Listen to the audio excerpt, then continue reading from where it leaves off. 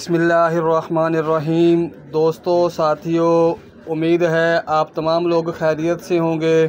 کچے چاولوں سے گردے میں پتھری ہو جاتی ہے۔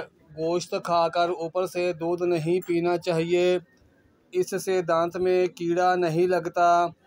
تلی ہوئی چیزیں استعمال کرنے سے اگر بد ہضمی ہو جائے تو اجوائن کے استعمال سے بد ہضمی دور ہو جائے گی۔ زیادہ میٹھا استعمال کرنے سے ذہن کمزور ہو جاتا ہے۔ کالے یرکان کے مرض سے بچنا چاہتے ہو تو گنے کا رس پیا کرو۔ ہائی بلڈ پریشر کا خاتمہ کرنے کے لیے نہانے سے قبل ایک گلاس پانی کا پی لیا کریں۔ کوئی بھی تیز خوشبو سونگھنے سے دماغ میں خشکی پیدا ہو جاتی ہے۔ لیز کے زیادہ استعمال سے پیٹ بڑھتا ہے۔ کھانا کھانے کے دوران پاؤں کے بل بیٹھنے سے دماغ کمزور ہو جائے گا۔ زیادہ محنت کرنے والے انسان کو شکر کندی کا استعمال کرنا چاہیے۔ مگر شکر کندی کھانے کے بعد پانی یا کوئی مشروب پینے سے بچنا چاہیے۔ خالی پیٹ سونے سے عمر میں کمی آتی ہے۔ جو عورت کچی پکی روٹی پکا کر کھاتی ہے، اس کو قبض کی شکایت ہو جاتی ہے۔ کچا کیلا دودھ میں شامل کر کے کھاؤ، کبھی کمزوری کا مسئلہ نہیں ہوگا۔ باورچی خانوں کے دروازوں اور سوراخوں اور کھڑکیوں میں لیموں کا رس نچوڑ دینے سے چیونٹیاں بھاگ جائیں گی۔ جس گھر میں شادی کے لیے رشتے بہت کم آتے ہیں وہ روزانہ صبح کے وقت چھت پر پرندوں کے لیے کھانے پانی کا انتظام کیا کریں۔ ایک تحقیق سے پتہ چلا ہے کہ رات کو سونے سے قبل چائے مت پیو، یہ آپ کی نیند کو متاثر کرتی ہے۔ رات کو چائے کا استعمال بد ہضمی اور پیٹ کے درد کا باعث بن سکتا ہے۔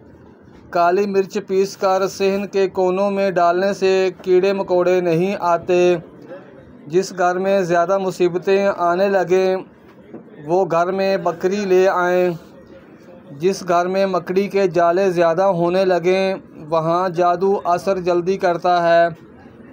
چہرہ کالا پڑنے لگے تو چہرے پر دہی کی بلائی لگاؤ، چہرہ دوبارہ سفید ہو جائے گا۔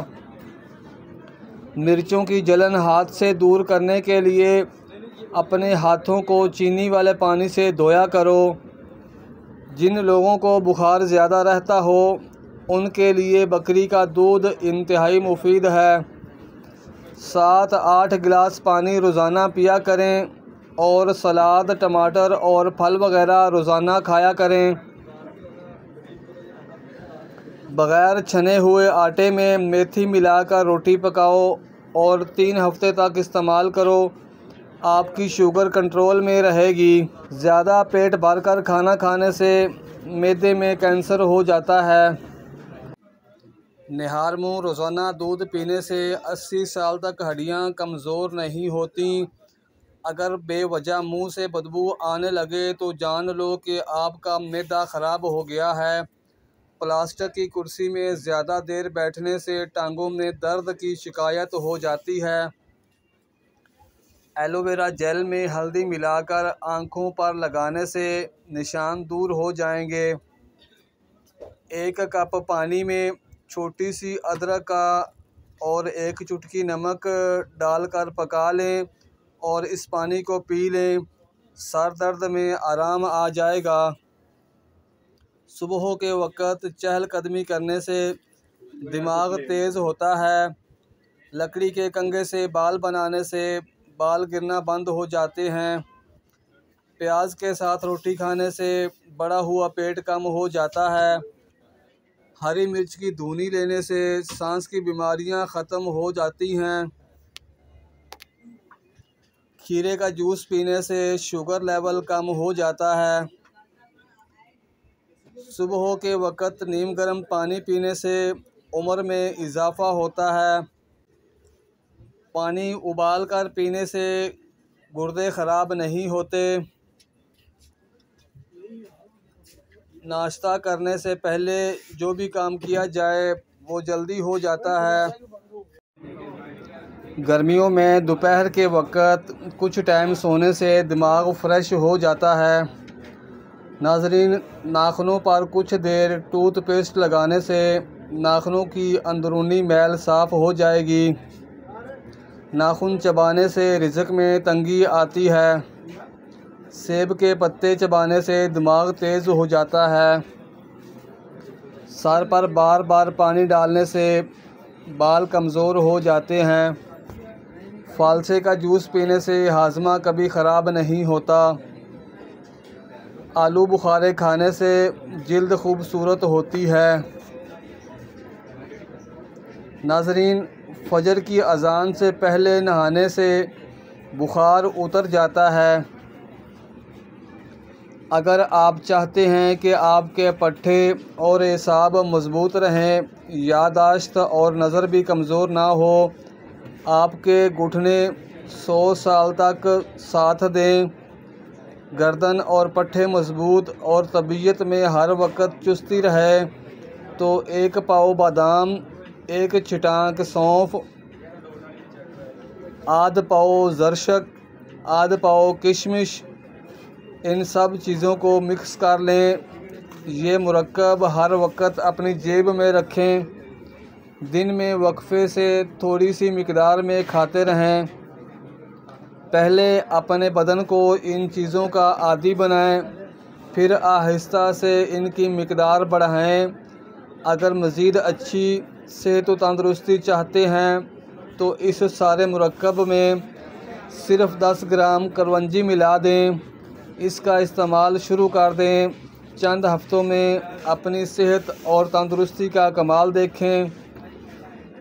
شوگر کے مریض ہوں یا ہائپاٹائٹس کے پٹھوں کا مسئلہ ہو یا اعصابی قوت خاص کی کمزوری، سب کے لیے نہایت صحت افزا ٹوٹکا ہے۔ اچھا لگے تو لائک ضرور کریں اور دوستوں کو آگے شیئر بھی کریں۔ ہمارے چینل پہ نئے آئے ہیں تو چینل کو بھی سبسکرائب کریں۔ لیموں پر لمک لگا کر چاٹنے سے بیٹھا ہوا گلا صاف ہو جاتا ہے۔ نہاتے وقت پانی میں لیموں ڈال کر نہانے سے بغلوں سے بدبو نہیں آتی۔ شام کے وقت سونے سے یاداشت کمزور ہوتی ہے۔ نہار منہ کیلا کھانے سے چہرہ خوبصورت ہو جاتا ہے۔ شلجم کھانے سے بلڈ پریشر کنٹرول میں رہتا ہے۔ جو بات کرتے وقت سر میں کھجاتے ہیں، ان کا دماغ تیز ہوتا ہے۔ کھانا کھانے کے فوراً بعد سو جانے سے میدا کمزور ہو جاتا ہے۔ نمکین پانی سے غرارے کرنے سے منہ کی بدبو ختم ہو جاتی ہے۔ زیادہ کھٹی چیزیں کھانے سے دل کمزور ہو جاتا ہے۔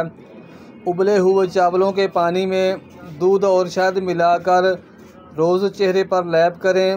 چار دن بعد چہرہ دس سال کم نظر آئے گا۔ اگر آپ خوبصورت اور سمارٹ رہنا چاہتے ہیں تو خوراک میں چاولوں اور روٹی کی مقدار کم کر کے پھلوں کی مقدار کو بڑھا دیں۔ چائے پینے سے گیس کا مسئلہ بڑھ جاتا ہے۔ چنے کی دال استعمال کرتے رہا کریں، یہ خون کی روانی کو بہترین رکھتی ہے۔ مونچھوں کے بال سفید ہونا شروع ہو جائیں تو شوگر ہونے کی علامت میں سے ایک علامت ہے۔ سری پائے پکاتے وقت اس میں سفید زیرہ ڈال دینے سے پائے کی بدبو ختم ہو جائے گی۔ اگر دل کی دھڑکن تیز ہو جاتی ہے تو نہار منہ پیاز اور شہد ملا کر کھاؤ۔ کچے سیب کے ساتھ شہد ملا کر کھانے سے جسم کی جلد ٹائٹ ہو جاتی ہے۔ روزانہ رات کے وقت اپنے پٹوں کو زیتون کے تیل سے مالش کریں، آپ کے پٹھے نہایت مضبوط ہو جائیں گے۔